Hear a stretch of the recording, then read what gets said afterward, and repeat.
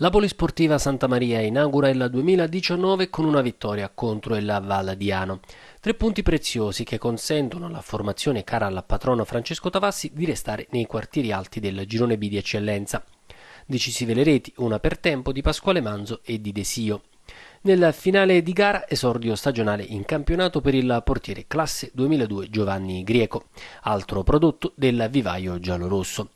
Il match vede equilibrio sostanziale in avvio. Il Valdiano tiene bene il campo concedendo poco alle sortite offensive dei cilentani.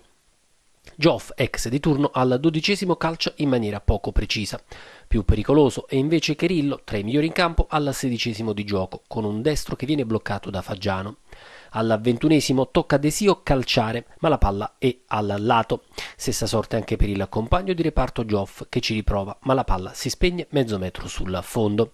Quindi sale in cattedra Manzo, numero 10 giallorosso, che calcia in porta due volte in poco più di 120 secondi tra il ventisettesimo e il ventinovesimo della prima frazione.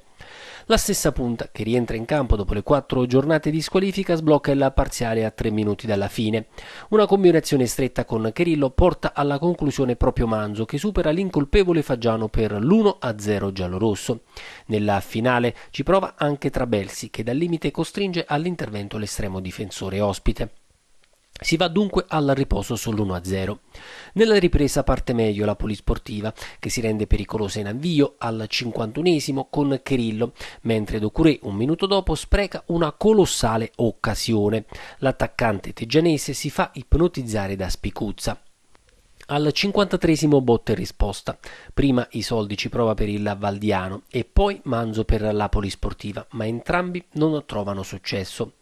Al sedicesimo è invece Desio, anche lui tra i migliori in campo, a cercare la via del raddoppio, trovando però il no del portiere ospite.